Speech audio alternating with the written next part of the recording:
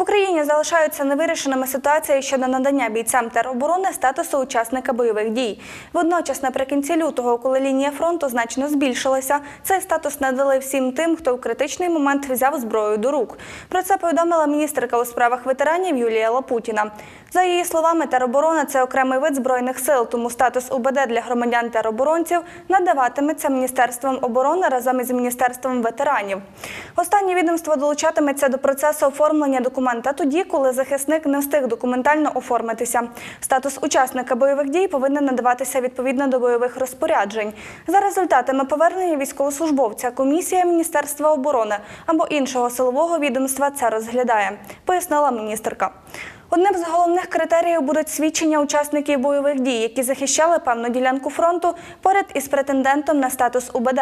Водночас надання статусу добровольцям, які не встигли оформитися, також буде вирішуватися комісією.